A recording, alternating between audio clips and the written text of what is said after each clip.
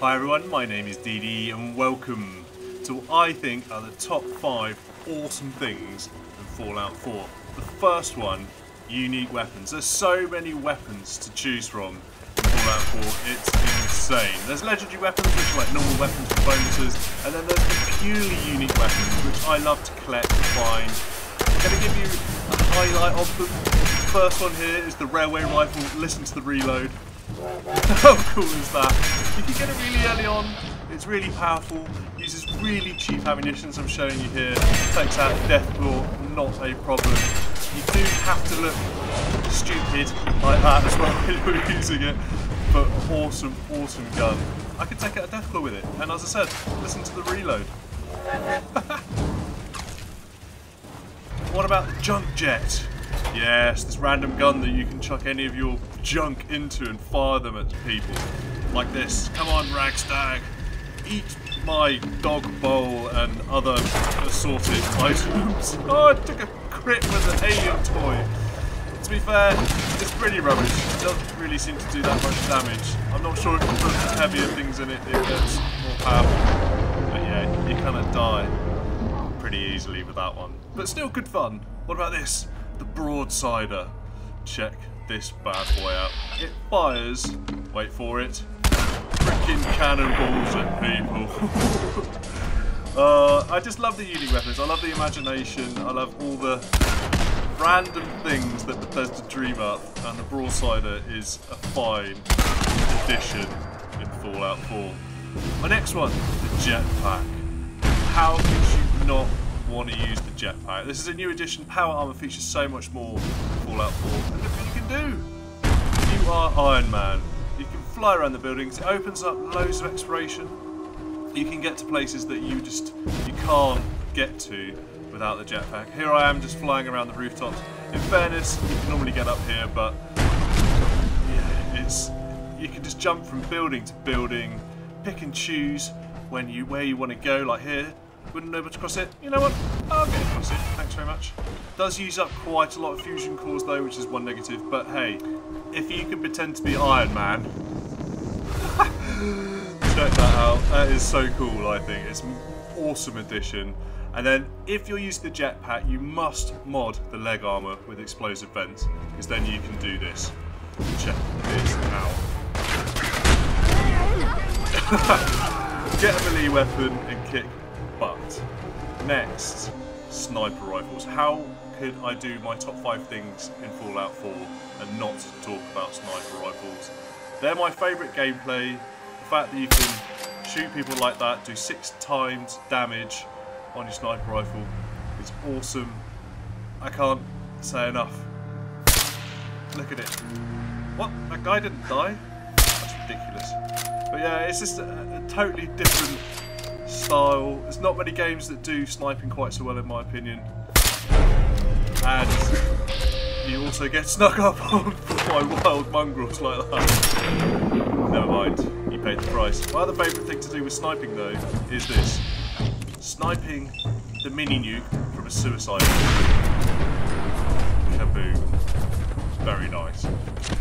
Okay, my next awesome thing to do in Fallout 4 is going rogue. And what I mean by that is I put on my heaviest power armor, collect up all my strongest, hardest, biggest weapons, save it, definitely save it, find yourself a good position, and then start a war with a faction. I like to see how long I can last with the Brotherhood of Steel.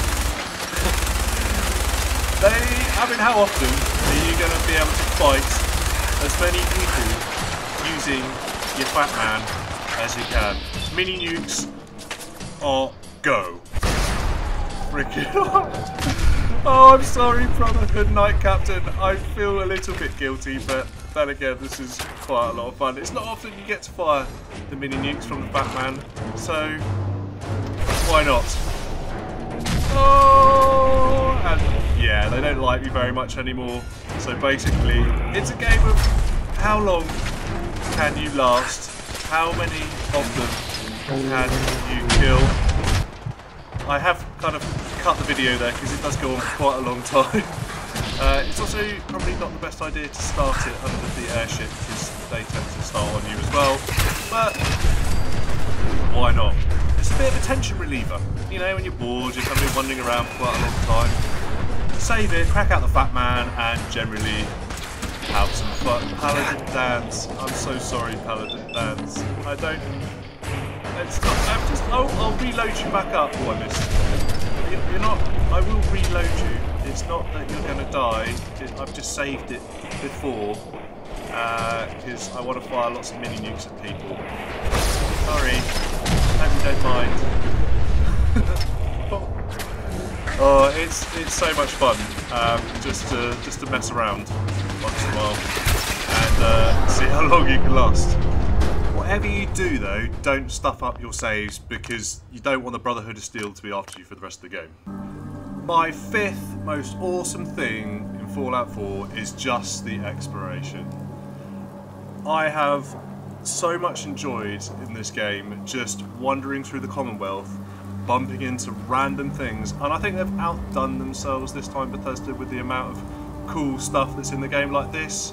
The glowing sea, it's this radiated madness with loads of scorpions running around it, but get the hazmat suit in, get exploring, find this, a relay station which leads you on to further quests, different stuff going on.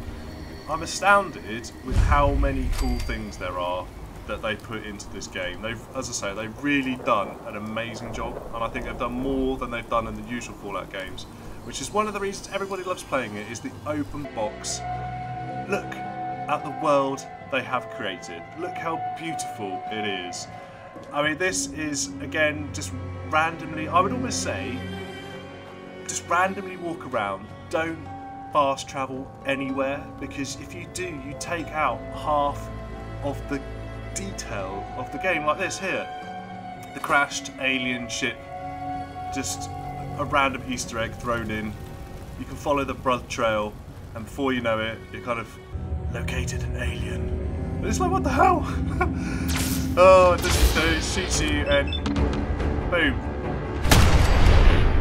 where you get the alien blaster from. One again going back to the unique weapons in the game. I am.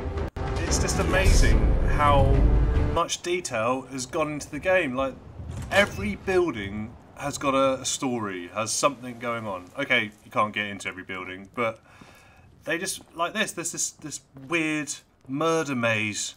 Look at that. It's a freaky hours. There's some guy against a wall, it's, and it's all just littered with content like a Christmas tree with a machine gun in front of it. I don't know why, but it's really cool.